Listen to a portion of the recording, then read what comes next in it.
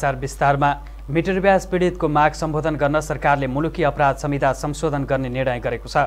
मङ्गलबार बसेको मन्त्री परिषद बैठकले मिटर ब्याजलाई अपराध घोषणा गर्ने गरी मुलुकी अपराध संहिता दुई हजार चौहत्तरको आवश्यक संशोधन प्रक्रिया अगाडि बढाउने निर्णय गरेको हो।